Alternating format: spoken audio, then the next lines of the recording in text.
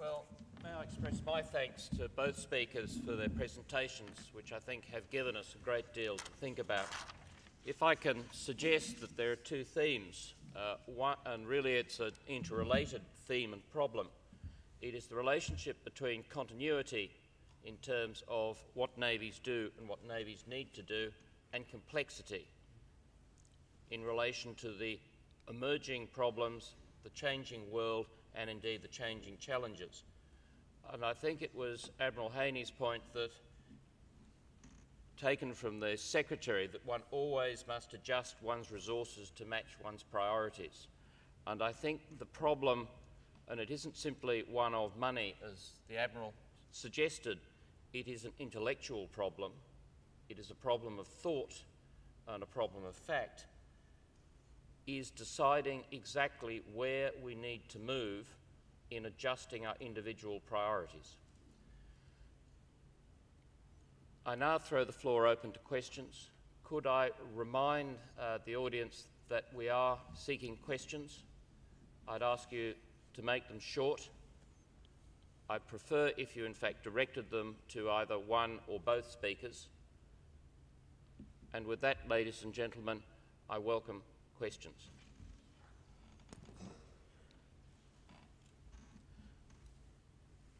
Okay, we'll go back left and then middle. Uh, good morning, sirs. Uh, Lieutenant Commander Trevor Gibson. I'm an Operational Test Director with the RAN's Test Evaluation and Acceptance Authority. My question is uh, directed to both members, and it's to do with the ability of the USN to conduct power projection through their strategy of forward deployment this allows them to influence, to provide presence and also to undertake deterrence. My question relates to two recent events in the US, namely uh, sequestration, uh, in some cases called castration, um, and also the recent government shutdown. Does this influence the ability of the USN to provide power projection? Uh, and if it does, through their rebalance program, do you have the ability to measure how much it has been reduced? Uh, good question. I thank you for it. There's no doubt that we're uh, working uh, politically, uh, sequestration and uh, this government shutdown. Those of you paying attention to the news can see that we're getting through this. You know, although we're shut down, I'm here. and you can also read that our DOD and our governmental folks are, in fact, coming back to work. Uh, like everything, it's a journey. But I can assure you, during this journey, we've maintained our credible capability of the United States Navy forward, not just in the Indo-Asia Pacific region, uh, but in other parts of the world. So we didn't stop the screws turning and the radars spinning for those radars that do spin today, most of which don't but we're out and about just as we have been, quite frankly, as a naval force. So uh, I thank you for that question, but uh, we continue to move about militarily. Thank you. Yeah, um, I just to add to what Admiral Haney said, and I think this is this is true of current political developments. It's it's also true of of policy statements like um, like the like, like the rebalance. The truth is, the, United States has a long-term involvement in and a long-term interest in and, and deep uh, engagement with the Asia Pacific region. And you know, our, our shift in focus and shift in emphasis uh, to the region predated you know, the, the, the, the current administration's emphasis on the rebalance, which I actually think is a good thing. Uh, we, you know, we began, it's really been going on, um, although in, in low profile for probably about a dozen, a dozen years or so. And so similarly, I think it would be, it's very easy to, to get wrapped up in the, in the current headlines and lose uh, sight of the fact that really it, it has been a, uh, a long-term policy of the United States across administrations to place greater emphasis on, on the region. So whatever happens in the very short term, I, I think we're, we're seeing the playing out of a, of a longer term uh, increase in focus and, and emphasis on, on, on the region. Okay, in the middle. Uh, Lieutenant Commander Josh Wilson, I'm with the uh, DDG Capability Implementation Team. Uh, I'd like to direct my question to uh, Professor Mahnken there. Uh, your points this morning on, on the, uh, the, the role of persistence and the, uh, the idea of deterrence and the, the way we need to move ahead, I thank you very much for those, but I would ask the question, are, are we looking at a very traditional role in the state-on-state actor uh, as, a, as a traditional role for persistence and deterrence? And I'd be curious on your thoughts on how you see those roles developing in the future as we see the rise of the non-state actor uh, and how we and, and the, the difficulties in identifying them to actually apply that deterrence and persistence role. Yeah. No, that's a wonderful, it's a wonderful question, and I, I wish I could give you a, a very neat, definitive answer, but I can't. Um, and, but, but what I can say is that, look, deterrence is, is situational and it's, it's targeted. You, you, you seek to deter uh, a particular actor, whether it's a state or a non-state state actor, and your ability to deter that state or non-state actor depends very much up upon the upon the situation. Um, and I just think it's a it's a topic that hasn't uh, gotten the you know the amount of attention that it probably deserves. We assume a lot about the ability of, of just say naval forces to deter. Um, and you know, my, my plea is for a little bit more study um, so that we can figure out really what does deter particular actors in particular situations and also what, what, what doesn't. So I, yeah, I certainly wouldn't limit um, my comments to, uh, to states. Um, I would say deterring, deterring states can be difficult enough, uh, and, and non-state actors can be even, even more difficult. One other uh, more, uh, if I can put a practical application to this, something that we navies do do together, and that is we're working hard at uh, understanding the maritime domain and how to look at it, how to fuse together the information. You know, I look at, for example, Singapore and their um, their fusion center uh, approach, uh, for example, and there are other approaches depending on what part of the globe uh, we look at. But the more and more we delve into that piece uh, with that goal of holistically trying to neck down on the inability to prevent non-state actors from being able to use the sea commons uh, as a means of transport and mischief uh, is a collective goal I think everybody in the room would raise their hand on. And it's how do we get there? How do we make that uh, aware that that's not the uh, option of ease uh, has been something we've been working on and, and, must continue to do. And in some cases, I think it has been serving as a deterrent. Uh, in other cases, we got to continue to step up the game.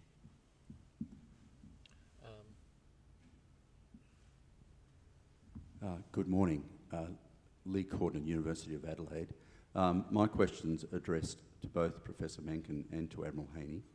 Um, we'll, we'll all recall, I'm sure, that uh, Clausewitz and Corbett both wrote about the importance of understanding the nature of a conflict, and in contemporary risk management terms, um, that could be translated to understanding the risk context. So in this changing environment that you've both spoken about, I wonder how you see the risks and opportunities emerging, particularly in the area uh, that one of the questioners has already raised of the um, relationship between many players who are, are not only navies in this business of managing maritime security and dealing with maritime security risks and opportunities. Thank you. Um, Lee, it's an excellent, uh, um, it's an excellent question. Uh, I think the, um, you know, maritime security offers a, a great, a great opportunity, uh, a great opportunity for for cooperation. Um, but as you as you note, you know, understanding the nature of the war or the nature of the problem, uh, if you will, is uh, can can be a big can be a big challenge. And I think when we, um, when we, do, when we do so, um, we have to differentiate between a number of, of different types of actors. So uh, even within, say, non-state actors, um, I would differentiate between, say, those with political motivations, meaning whether you want to call them uh, well, in, insurgents, guerrillas, terrorists, those who fundamentally are, are seeking to use the commons uh, to, uh, to political, to political uh, effect, and say pirates, who are economically motivated. Those are two very different sets of actors. So, sort of the, the logic of strategy, I think, clearly applies to political actors. Um, the, the kind of the logic of, of benefit and, and uh, risk, I think, applies more clearly to, to pirates. Most, most pirates don't have a political agenda. Uh, their, their agenda is profit. And if you can drive up the, the risk you know, sufficiently to them, well, they'll go seek uh, money other ways, legal or, or illegal. Uh, but a political actor that's seeking, you know, a political objective uh, in in competition with yours, there's a different there's a different sort of calculus there. So I, I you know, I would very much uh, echo uh, Clausewitz in that you know the, the Sup- the Supreme Act is to understand the nature of the war you're fighting, neither mistaking it for something something that it isn't or trying to turn it into something that's alien to its nature. Uh, I think oftentimes you know just parsing out who we're talking about, the, the nature of those actors, what their motivations are, uh, and what they seek, and then how we can affect them, that's, that uh, takes us a long way to developing a strategy to deal with them. I, I would agree wholeheartedly, and, and I would say, uh, uh, although this is a maritime conference, uh, as we look at getting the non-state actors and, and applying that, risks and opportunities as you described, the real key is re- removing seams and gaps from the maritime domain to the other domains by which these actors reside. We have to understand, frame the problem, uh, and get at it in a holistic uh, framework and not just in segregated constructs, if you will. Thank you. Uh, at the front. Good morning. I'm Emerald Miller from Chilean Navy. To Professor Mahnken, I want to ask: uh, Do you think is if is there any constraint for the small navies as mine to apply the same attributes you mentioned for the big navies? Um, that's, that's an excellent question. I think, um, I think one trade-off that, that all nations, all navies face is the trade-off between providing sovereign capability and working as part of a greater coalition or, or alliance. Um, and you know, sovereign capability tends to drive you, any navy, small or large, to try to do everything. Uh, whereas burden sharing, working across uh, alliances and coalitions, allows you um, some more flexible choices. And so I think you know one of, one of the one of the decisions, and I'll say that face uh, that all navies face. Um, perhaps it's more acute for, for small navies, but I think all navies face is what you know what capabilities can they rely upon others to provide or rely upon other uh, other uh, armed forces or institutions to provide and what do they absolutely need to keep uh, for themselves? So I think I think actually the, the choices are, are, are universal. I think the, the challenge that small navies face is just you know fewer fewer resources in the basket and so the choices are maybe sharper but I think everybody everybody faces those choices Uh, Good morning. Uh, Captain Tony Aldred, uh, Director Current Operations, Headquarters Joint Operations Command. Uh, my question is to Admiral Haney, but I'd, I'd invite comments from you too soon. Uh, uh, given India is a, a non-aligned country, but it's strategically positioned in regards to global maritime security in um, both the Indian Ocean and the Malacca Strait contexts, uh, how do you see the US relationship with India developing in the near to uh, medium term? Uh, who will lead, given the juncture between PACOM and CENTCOM uh, across the continent of India? And what role do you think Australia should play in further developing those relationships, uh, given that we are already involved in IONS and other similar fora? Good question. Uh, clearly, uh, you know, from the United States of America, but more appropriately in my role from the United States Navy, uh, we continue to work uh, with uh, the Indian Navy. Uh, I think, quite frankly, a fairly decent relationship as we work our Malabar exercise series, various port visits, and what have you. I had the unique pleasure of traveling to India near the beginning of this year. And uh, it was great to finally get there uh, and talk to the leadership there. As with any country, uh, every country has its values and, and, its sovereignty, as we've described here. And just as the United States of America, and very important that we work to understand each other and, and work where there are common interests that we continue to work that area uh, with due diligence. And I think that's important. Uh, when you, you uh, ask the question of Australia's role, uh, when I look at uh, this Indo-Asian Pacific region, uh, I look at it as not something that I do alone when it comes to naval business. It's one that I clearly count on the work of other nations. The business, as I travel about, one of my questions is how uh, do other nations, other Navy leaders, uh, and their governments look at the world through their lens, not through my lens, so I can understand it better. That's why this intellectual rebalance to me is so darn important uh, that we do that, and we do that with a patient uh, approach uh, to clearly work to understand the values of each country because each country has its own uniqueness uh, and interests and vital interests associated with solution solving. So uh, when you say who will lead, uh, right now I know whose uh, area of operation and responsibility that is, my boss at Pacific Command, Admiral Sam Locklear.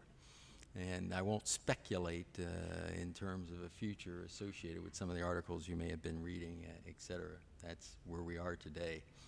And uh, more to follow perhaps in the future. But as we look at how uh, the U.S. has split up the world in terms of geographical combatant commands, uh, we don't work in isolation. Quite frankly, if there's anything that I've seen during my tenure as a naval officer, as a joint officer, is just how we have worked hard and do due diligence every day to reduce those seams so we aren't working in isolation.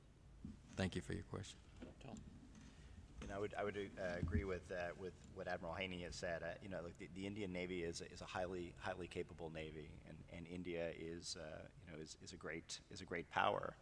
Um, I think one of the good things about, uh, about being a Navy and maritime relations is sometimes it, it, it is easier to cooperate um, in, the, in the maritime realm than you know than in than in other spheres. And I think certainly my you know with my limited experience between uh, uh, U.S. Uh, Indian cooperation in the in the naval realm, I think that's that's that's very very much uh, the case.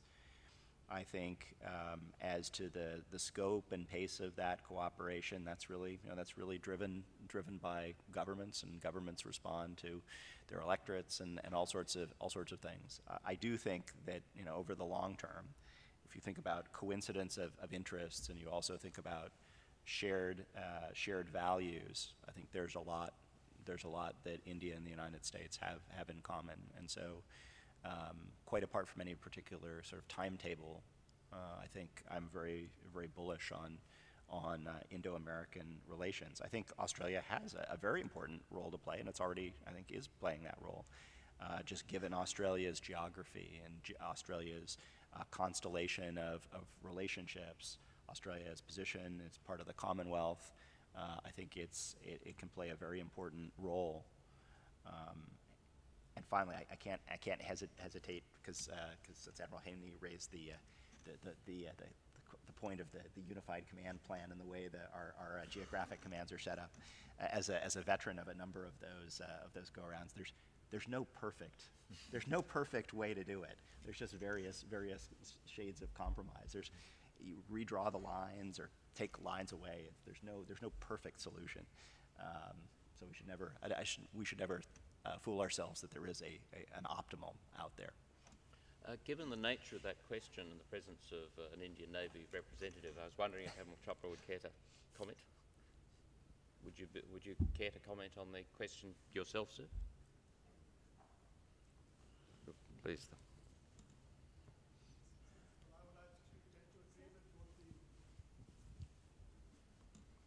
Well, thank you for your comments in the first place about the Indian Navy and its uh, role over here. Mm, I think I would tend to agree with uh, both the speakers that the relationships of India and its Navy with the Indo Pacific is only increasing, and uh, that it is possibly uh, stronger on the maritime to maritime front, and we'll take it from there. Uh, that's about what I could say now. Thank you. Thank you, sir. Any more?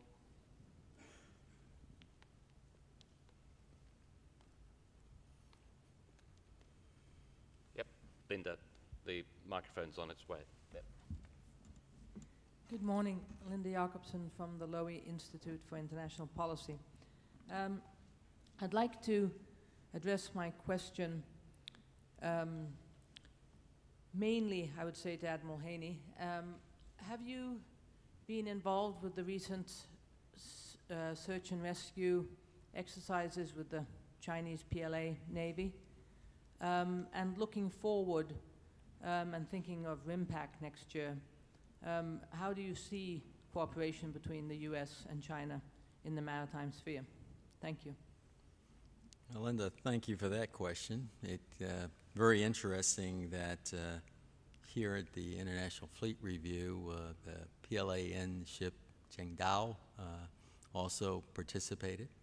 Uh, that ship and two other ships that were with it very recently visited uh, Hawaii. I was there. Uh, actually, I was there on the pier when they uh, came in to greet them we truly value our opportunities to do mill to mill with them. And in fact, at the conclusion of that port visit, uh, we did conduct a uh, bilateral uh, search and rescue exercise uh, with uh, those ships.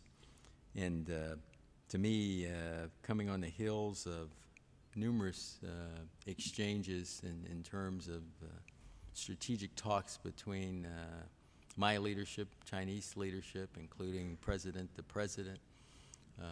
I followed, uh, I was on the heels of Chairman Dempsey's visit to China, where I went to China, visited uh, both uh, Beijing and then the South Sea Fleet headquarters.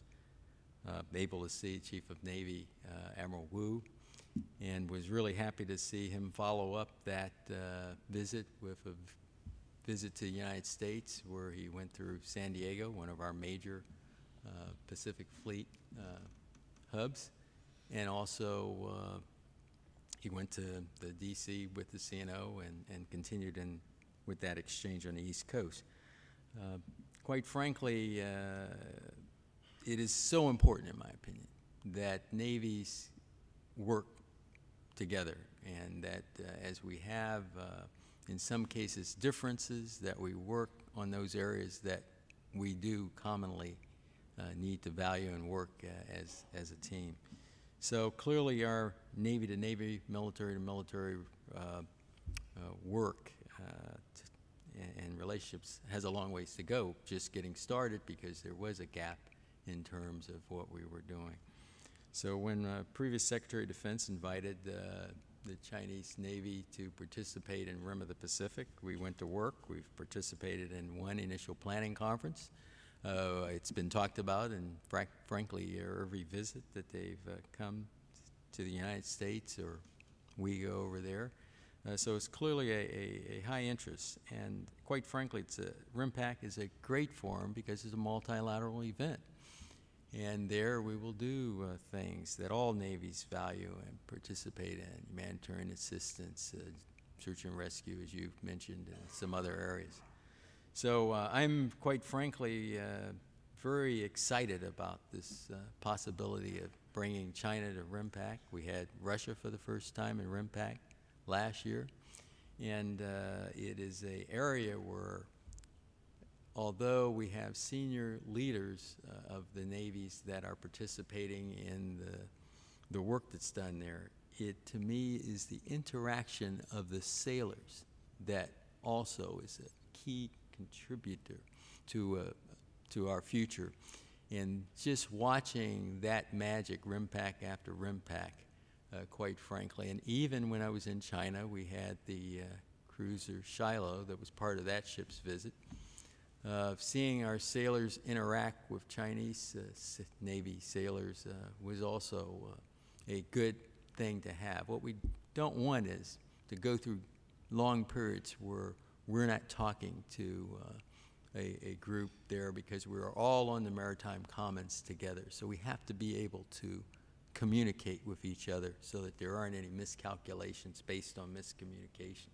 So this whole business of port visits, high-level visits, and of course, uh, Rim of the Pacific. Uh, my only regret in Rim of the Pacific is I won't be commanding the Pacific Fleet when that comes around, but very excited about the participation, not just of China, but of all the nations that come. Thank you. Thank you. David.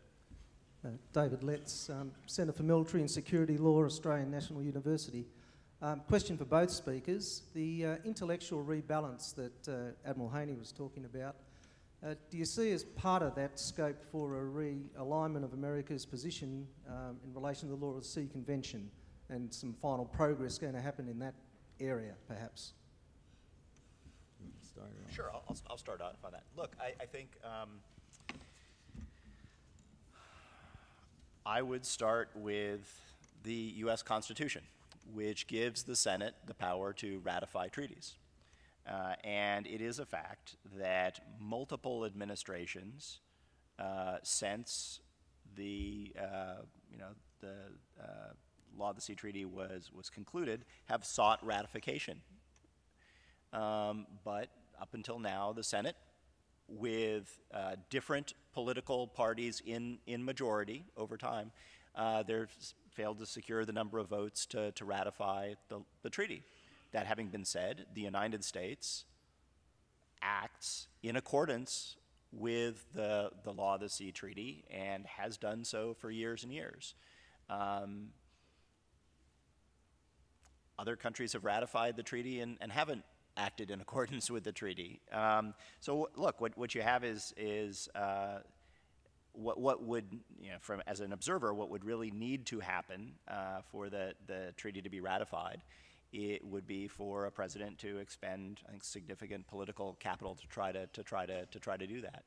Um, but as I say, uh, even though it's unratified, if you look at the U.S. behavior, U.S. behaves routinely and has for, for years and for decades at this point um, in accordance with the law of the sea treaty. So. That was so astutely answered that I don't think I need to say anymore. Thank you. Nam.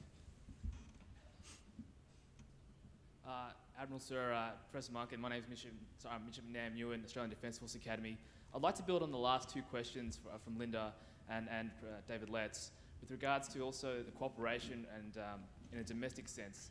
Now, the, crisis group suggested that perhaps uh, a lot of tensions and, and, miscalculations is not necessarily between navies and mil-mil relations, but that a lot of domestic actors and domestic law enforcement agencies are inciting tensions, and that's where the miscalculations can occur. Can you provide your comments on the need to, to uh, break through that in terms of cooperating also with domestic uh, law enforcement agencies to ensure that miscalculations do not occur?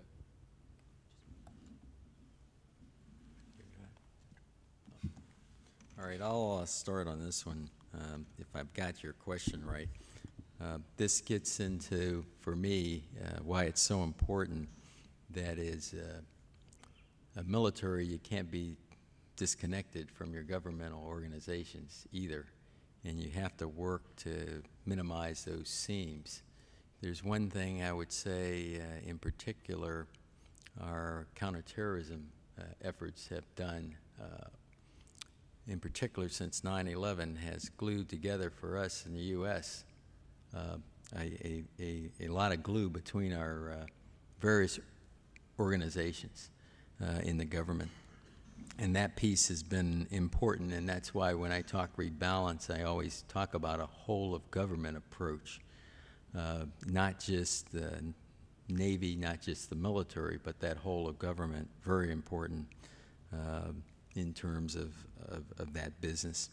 And as you astutely, I think, tried to pull out here, or did, and, and that is when you look at military law enforcement agencies and what they do, uh, in the region here, very important that we understand uh, their uh, their rules of the road, you know, who they're working for, et cetera, and make sure as we find uh, maritime solutions to the problem that that we look at it holistically and not just looking at it uh, uh, as an approach in, in one area. And I would also say that it's not just maritime law enforcement agencies, it's, it's the business of uh, being able to look at all domains, whether that's space, cyber, et cetera, uh, in terms of uh, activities. And then where do we as navies, uh, where is our most effective role in, in participating to work to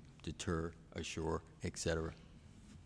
And I think cer certainly, certainly agree with Admiral Haney. And you know, from a U.S. perspective, I think you know one of the very powerful uh, levers that that we have that's I think oftentimes underappreciated is the U.S. Coast Guard. Uh, both you know the, the Coast Guard uh, itself and its its maritime law enforcement role, but also the Coast Guard attaches that serve in, in embassies across across the world, including in, in Asia. I think, in, in my you know in my experience, those uh, those Coast Guard officers have have played a very important role uh, in speaking directly to to other maritime safety and maritime law enforcement uh, uh, organizations uh, across the region. And I think they, they really do play a, an important role. Yeah, it is interesting. I, I do have a, a Coast Guard officer that's uh, on my staff that allows us to facilitate even better communications and that, to share. Okay, before we go to the bright, I'm going to in fact take uh, a Twitter question from Alistair Cooper, which is for Tom, as you can see, to expand on future flexibility of navies and precision strike in the context mm -hmm. of developments in cyber and unmanned vehicles. Yeah. I think um, unmanned, unmanned systems, uh, really with unmanned aerial vehicles kind of leading the way, do, do offer um, some substantial opportunities to maintain and increase the flexibility of, of, of navies. Um, particularly application of UAVs for maritime domain awareness. Uh, I think, and this actually uh, ties back to the, to the previous question, I, I think you know, a, a, key element of uh, disputed actions in, in Asian waters has to do with just, just ground truth. Who did what, what happened. Uh, and so I think uh, the ability of manned platforms, but, but, particularly unmanned platforms to, to cover broad uh, ocean areas, do broad ocean area uh, surveillance, um, is offers an opportunity to to really multiply um, the ability of naval forces to to project presence and uh, and and to deter and to reassure. So I think that's actually uh, I think that's actually a, um, an important one. I think unmanned undersea vehicles. Um, Similarly, although I just, uh, you know, I think that the nature of the domain, the nature of the technology is not as mature uh, there and uh, less accessible.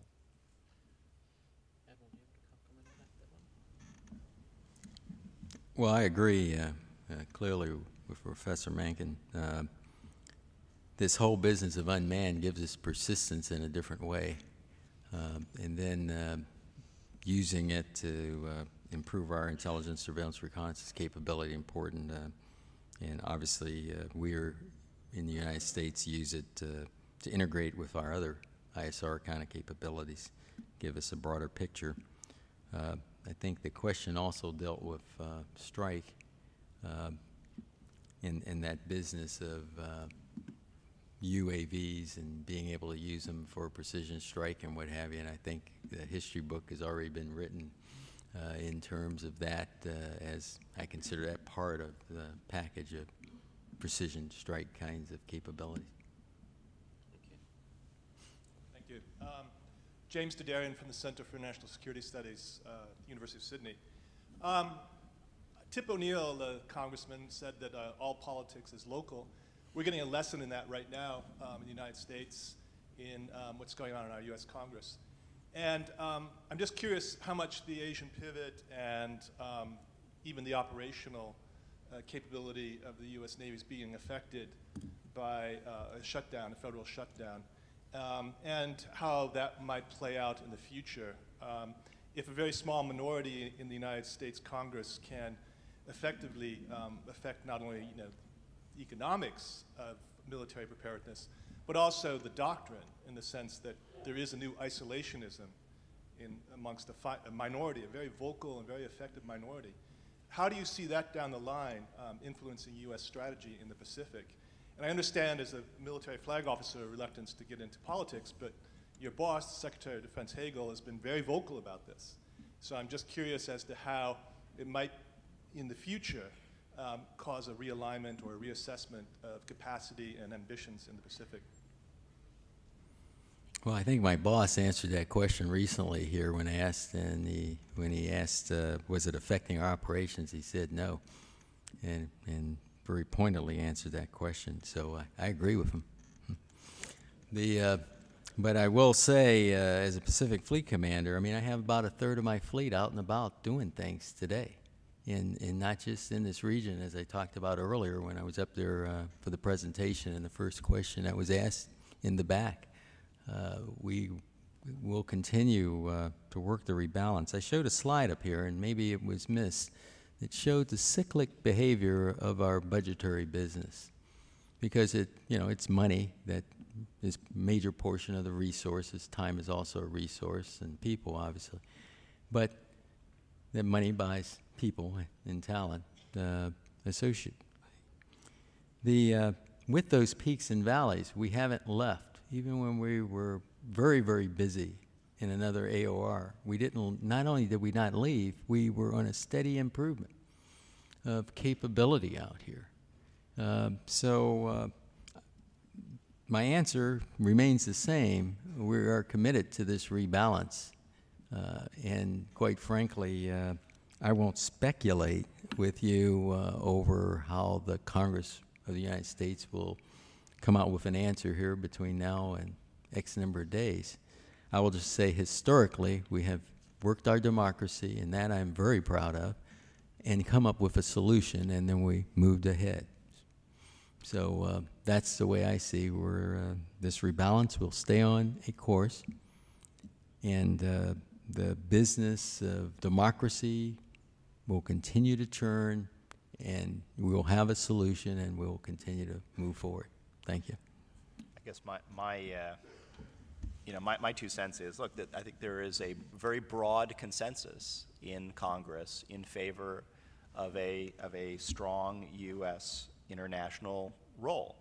And I would note that despite the failure of the executive and the legislature to agree on uh, a budget, Congress very early on gave the Secretary of Defense the authority to keep not only the, the, the military uh, on duty, but keep uh, put uh, DoD uh, civilians back to work. And DoD civilians, as, as Admiral Haney said, are, are back to work. So I would say, regardless of the domestic politics having to do with uh, spending priorities and the, and, and the size of the budget, I think there is a broad internationalist uh, consensus within Congress. You're right, there, there are uh, there are isolationists on the very left wing and the very right wing of the political spectrum, um, as there are, as there is a, a you know a, a, body of thought in Australia that sort of aims for sort of armed armed neutrality as opposed to the Australia-U.S. alliance. Um, but I would also say that the last you know the last electoral cycle that uh, the United States went through after the 2008 financial crisis should have been the perfect opportunity for isolationism to arise in the United States. And it didn't. Um, so again, something might change in the future, Uh, but you know, I've I've lived long enough to hear, you know, sort of with every every decade, every generation, concerns about American isolationism. Um, look, the truth is, the United States really wasn't that isolationist in the 1920s or 30s, at least as far as Asia was concerned. Um, again, maybe something will change in the future, but I wouldn't bet on it. Good morning. David Palmer, concerned civilian. Um, and uh, I'm here to get a better understanding of how we use our navies to keep us secure. But my question based, uh, to both the professor and the admiral is, if I'm correct in my readings, within the next three years, China will put to sea its first carrier. Not long after that, possibly its second. Now this running around and being the bonhomie and all this sort of thing amongst navies is all very well, but it's not totally reassuring to us civilians. Navies are here to protect us and to fight. So my question is, uh, what, why do the Chinese see a necessity for aircraft carriers? What do they intend to do with them? And finally, what impact will this have on strategy? Thank you. Well, one, Mr. Palmer, I thank you for your interest in the maritime domain and uh, your thoughtful question. Um, one piece I do want to say is, uh, as far as I'm concerned, China has already put a carrier to sea. And uh, putting it in a bigger frame, as you look at China's economy, as you look at China's dependency on what we talked about here a bit over just how much trade flows through the maritime domain, uh, I think China is also interested in maritime security and the secure transport of its commodities and goods to and fro. When so much of our trade goes by sea, that's a, uh, common interest amongst all nations. So as Chinese economy improved, not surprising to me that China would increase their maritime capability across the board. It's not a surprise, uh, quite frankly, given their interests globally of where all this, the resources and what have you come from today where they will come from in the future. And that's why I think it's uh, very important that we uh, continue to work on a mill-to-mill, Navy-to-Navy, uh, uh, navies to navies with China so that we can continue to work uh, uh, to, to make sure we can communicate with each other where it matters in, in that regard probably as we look at any country with growing military capability, the real key is how transparent is that, how transparent is not just what they're building and how they use it, but what's their overall intent. And that's the piece that I think time will tell as we go forward. Um, as to you know, as to why China wants wants aircraft carriers, I think I think there's a you know I think there's a mixture of motivations. Um, one of the big ones being status. So that, that, that you know, one of the, one of the major um, coins of the naval realm, you know, for the, for the last uh, number of decades is, is, is having an aircraft carrier. Um, and so I think part of, you know, a good part of the Chinese carrier uh, program is, is status. And, is a, and it's certainly the, the Liaoning and the, the, the the carrier program more generally has become an object of a lot of, uh, a lot of national, national pride. Now, it's also uh, you know a, a, military a military unit, and I think for you know for military purposes, they're interested in a carrier for regional presence, regional uh, power projection.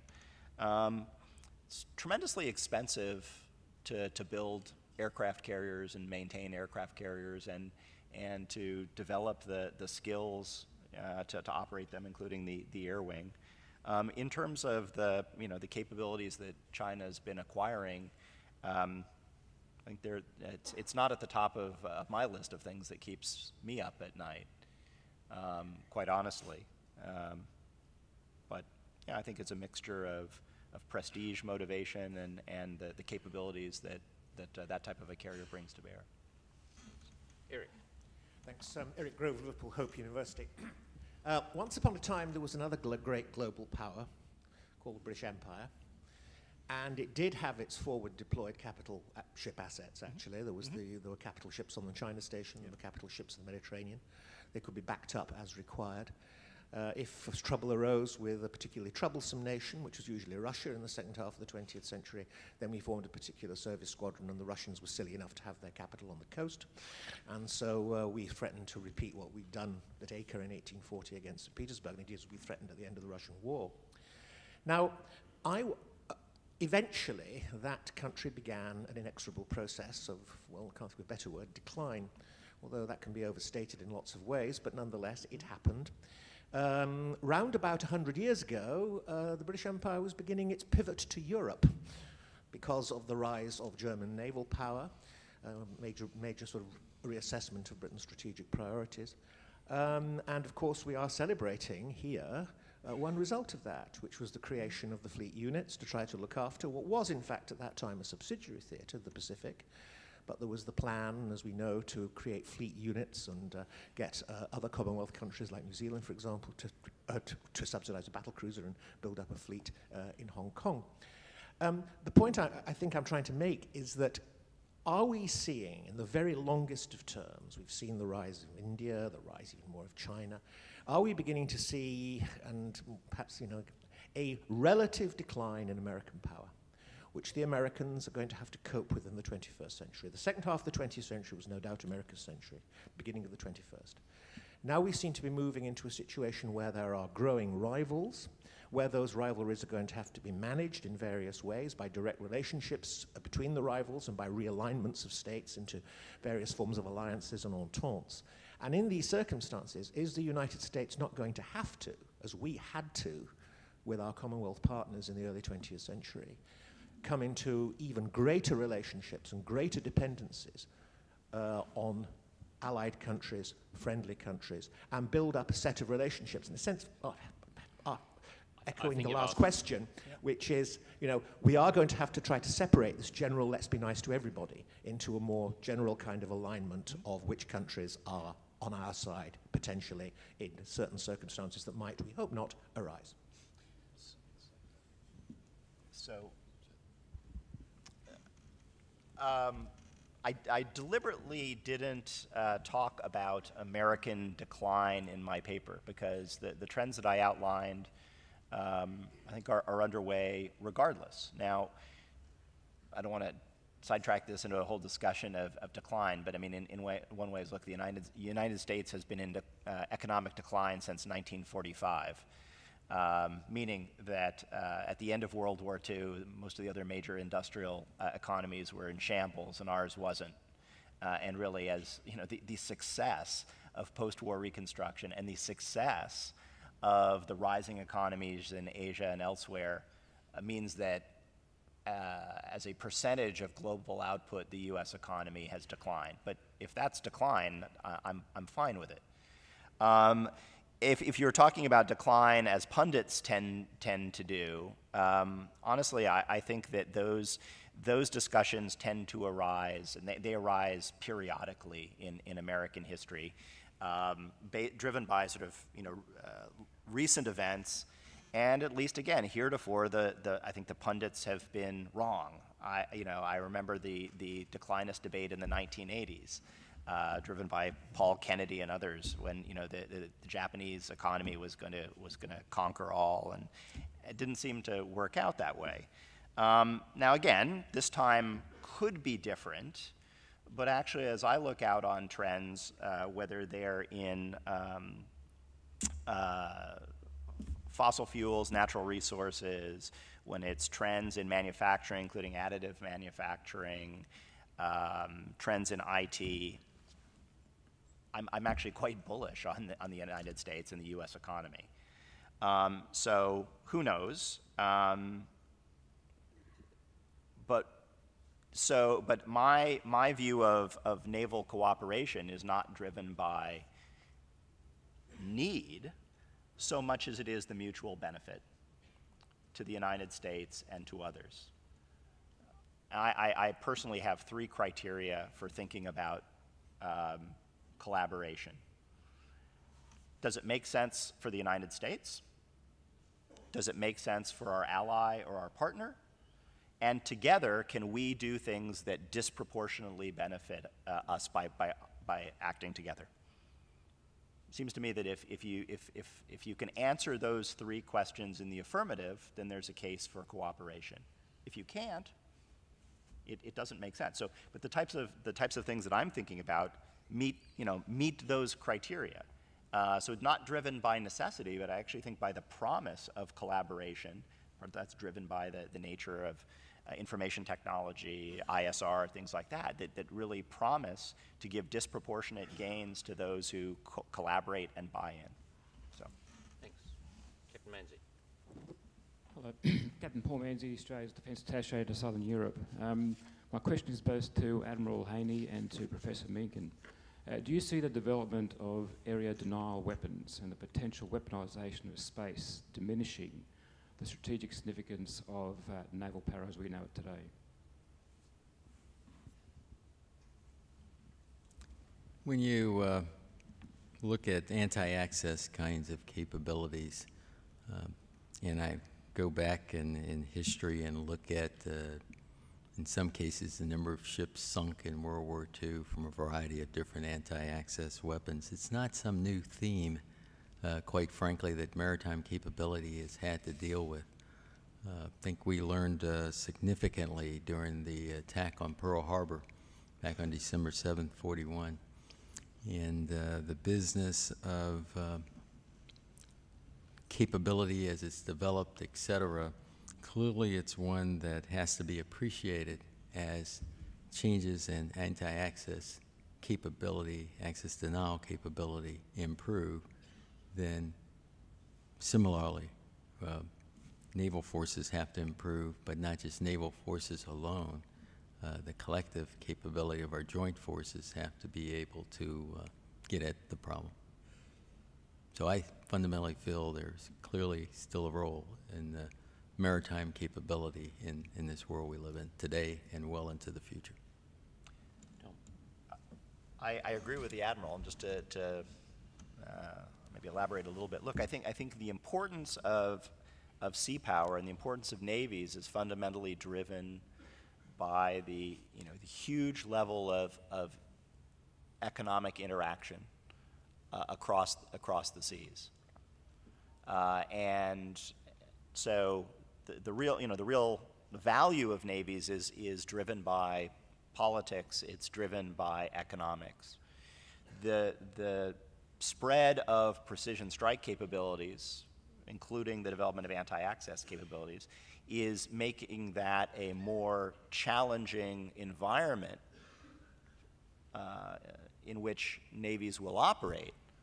But it doesn't diminish the, the value of, of sea power and the value of navies. It just, it just makes it a more challenging environment that, uh, that we have to deal with.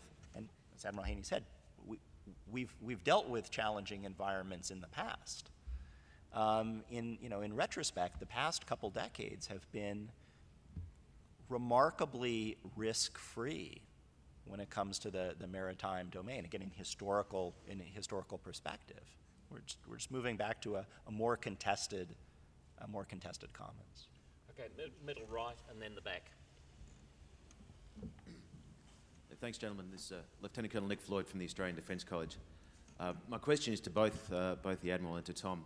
Uh, both of you gentlemen have provided uh, a lot of commentary about um, the global commons and where we're going with collective security uh, and indeed the confluence of sovereignty enforcement as well as law enforcement, which are all very opposite, and we, we've seen that those things are going to go forward. Can I draw both of you gentlemen on two particular aspects of of how that's going to be applied into the future, and that's both um, the the appeal and the access and the increasing accessibility of both the North Pole and the. South Pole, particularly as the uh, as uh, as Antarctica's uh, treaty is, is coming up for review in the near future. How would you see both the US treating those two issues and perhaps some, some insight into where you think, uh, as a collective uh, global security uh, conglomerate, we should all be treating both those two issues. I think um, I think it's going to take some time for international shipping to uh, accommodate the availability of of, um, of routes near the, near the North Pole. And, and one, just one point I would make is, quite apart from, from that development, you also have the widening of, of the Panama Canal, and you have the, um, the expansion of, of en route infrastructure along the major shipping routes, the major existing shipping routes. And so I think a lot, a lot is said about the benefits of, of travel uh, kind of along the, uh, along the North Pole. The, infra- the en route infrastructure and the, and the port infrastructure on, on either way just doesn't ex- currently exist, let alone the, the maritime safety infrastructure doesn't, doesn't fully exist to be able to exploit those routes. So I guess I'm, you know, I, I tend to see that as a future potential rather than a, a, a near-term issue. Um, again, my, you know, uh, what I see on the international shipping, uh, shipping market, it's, it really is much more driven by um, expansion of the Panama Canal and, and further exploitation of existing infrastructure rather than building the, uh, the new infrastructure that would be required for some of these other routes. A good question. I think, uh, you know, when you look uh, geographically, just the distances that being able to use like an Arctic route uh, becomes very appealing. Uh, and as uh, more potential exists, uh, that will, in my opinion, be utilized more. As maritime uh, force capability, the piece that uh, I'm concerned, are we looking hard at what capabilities will we need for that future? Because when we get the calls of needing help in search and rescue, uh, needing icebreakers, things of that nature, it will be a collective kind of response there as well, uh, because it'll become more and more utilized. Uh, but as was mentioned here, uh, that time frame by which that accelerates uh, is a good question right now. But it is an area that bears uh, looking at now. It bears talking about in various diplomatic and what have you forums to make sure there is some understanding uh, of the nature of that environment and the rules of the road and international norms associated with it that, that are in fact very important. Uh, having had uh, various submarines that have transited through the Arctic uh, over time, uh, deep understanding of the harshness uh, and non-risk free of that environment. So it's not a trivial matter whatsoever, but it does bear some intellect, I think, today as we look at the, the future. Up back. Hi, I'm Aidan Morrison from um, Rubber Defence, a small Australian defence tech company. Um, I had a question for Professor Mahnken, um, but I'd like to invite comment from Admiral Haney um, about force structure. Um, Professor Mahnken, your third and fourth suggestion said we should have uh, forces which should be more survivable uh, when they're deployed forward and also be able to strike from further away. Mm -hmm. it seems to me that would exacerbate the other trend that you identified that uh, navies are becoming much more expensive, mm -hmm. which, uh, which is going to cause issues for presence and being able to have ships in different places at different times. Is that uh, divergent requirement, is there, is there any emergent solution to that? And if it is differentiated forces, could you flesh out a little further where we might differentiate our forces for um, peacetime presence um, in our current force structure, or what future force developments might be required to, um, to bridge that gap in requirement? Mm -hmm. so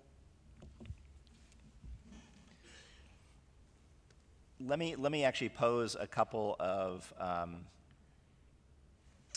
uh, of alternatives that are kind of that bracket the you know the end uh, the ends of the spectrum, and, and I really think that the, the reality uh, lies in the middle, which is why I talked about differentiating forces. So, you know, one one alternative in a in a contested environment uh, is to you know is to is to pull back and and think about uh, operating from from a distance.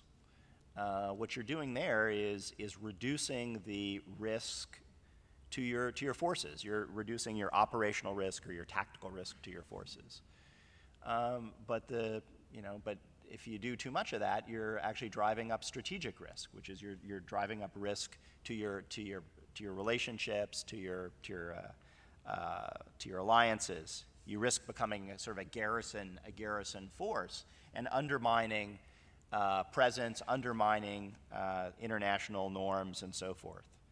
The other, you know, the other, uh, the other ideal type is uh, staying forward deployed and, and accepting, accepting greater, greater risk to your forces.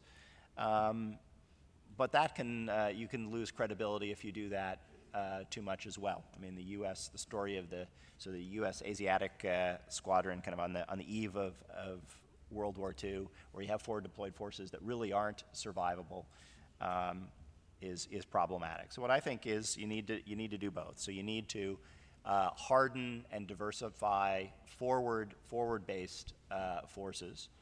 Uh, and then you also have to have the ability to, to reinforce them.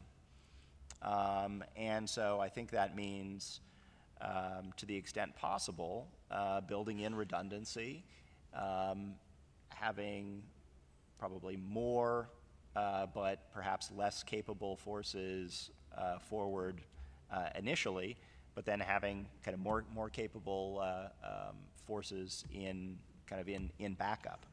Um, so that's, I mean, it's, it's a way of coping with the operational environment, also coping with the, uh, um, some of the economic budgetary challenges and, and the, uh, the cost, cost drivers as well. Uh, good question. Uh, the uh, overall approach, you know, when you look at force structure, has to be in balance with, uh, you know, ends, ways, and means. And very important as you look at the various, uh, not just strategies, but operational plans to deal with conflict. And uh, that in itself would probably be a two-week discussion, which I'll try to condense a little bit here as you look at this, at least from the United States of America's approach, and as we look at providing uh, our uh, national security apparatus a range of military options, uh, we have evolved into a joint, joint construct. And uh, so it's integration of maritime capabilities along with other things. And then taking this balanced approach so that we can, in fact, uh, balance things holistically, looking at risk. So, in my opinion, you've got to have an assortment of platforms to do different things. It can't just all be super high end. Those are applicable where required. But then at the other side of coin, you have to have uh, other platforms uh, that are able to be built in increased numbers and what have you. As I look at the future of maritime capability, in that same vein, as we look at going through, a, in our case, a very rigorous requirements process before we can go buy something, it's how do we infuse as much uh, future payload capability that can be rolled in and rolled out for the as the technology changes and allows us to have even different approaches in the maritime domain than perhaps we're accustomed to uh, and where we are today. I feel that's immensely important as we look at both the cost curve as well as the capability curve. And then, as I say, this business of fusing the maritime capability with other capabilities in order to win. Last question. Lieutenant Commander John Bird, Navy League of Australia. Just following on from the Twitter question, uh, Professor Mahnken, you made frequent references to service forces in your address. Would you care to comment on the, the role, the very special role of the submarine in deterrence, power projection, assurance, and so on? Thank you. I should actually ask Admiral Haney as the submariner, but, uh, but I'll, I'll, take, I'll take the, uh, I'll take the, I'll, I'll take the first crack. Um, I think I think that you know the the role of of the submarine actually um, helps illustrate some of the trends that I talked about. Um,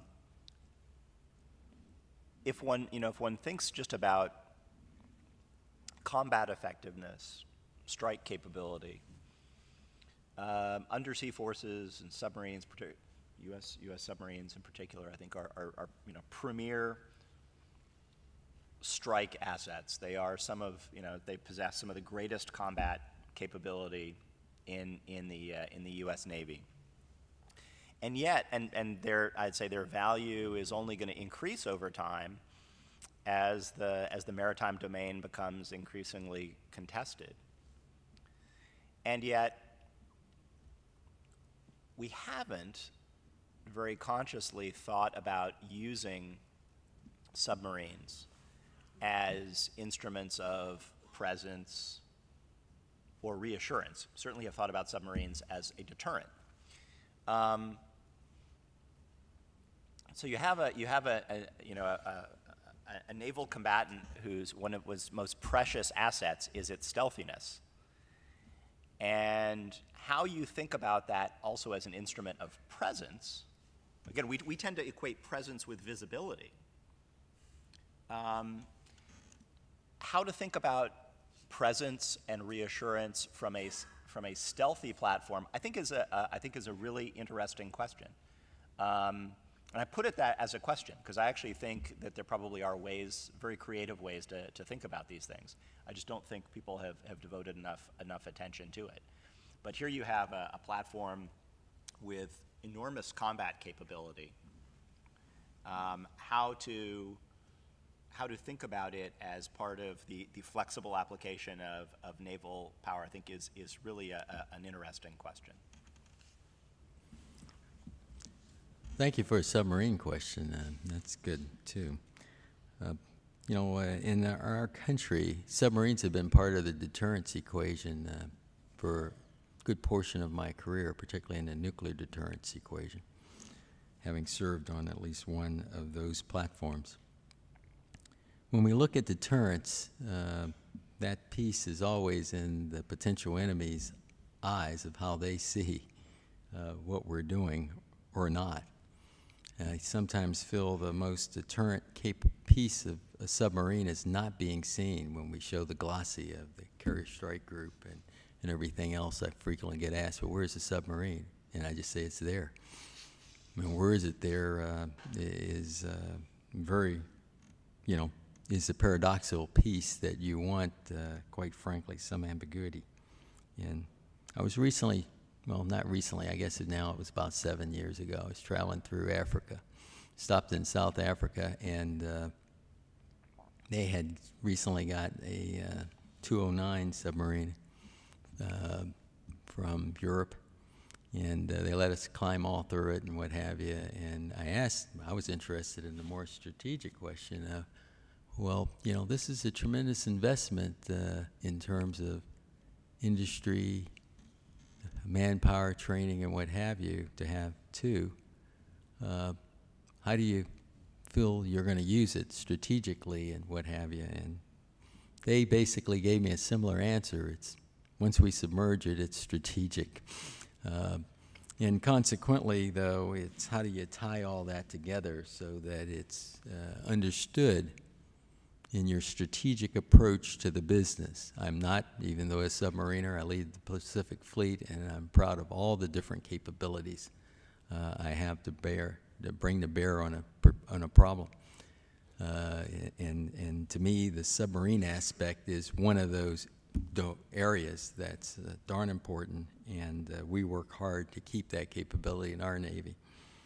Uh, what bothers me in terms of trends a bit is uh, sort of that picture I saw there is in, in South Africa since then is how many nations want more and more and more to have submarines. And then for what purpose? Just like we were talking about the Arctic, the undersea domain is a dangerous domain too. Uh, but I will say I'm very proud of how we have glued that together in submarine rescue and that there's an international uh, response effort uh, in, in that regard. But with regards to presence, you know, we pull them in port periodically so that they can be seen and what have you, but it will never give you that mis- that that picture as if you went aboard Perth or you went aboard Darwin, Darren, or, or any of our combatants that are out here on the Australian waterfront. The submarine looks small and shanty on the waterfront. Real key is what capability it delivers and the understanding of that capability. So uh, it's integral, and it, to me, it is part of the deterrence equation. Uh, that's used, and periodically allowing it to pull and port to be seen is, is very important. Thank you. Thank you, Admiral. Uh, ladies and gentlemen, that concludes our session. May I make one administrative request that uh, if you're attending the next session, you be back in here at 10.55 for our 11 o'clock start. Uh, but before uh, we leave, may I ask you to join me in thanking our speakers not only for their presentations, but for their willingness to be uh, grilled for what was well over an hour in what I think was a thought-provoking and extremely useful session. So if you could express your thanks to both of our speakers in the usual way. Thank you.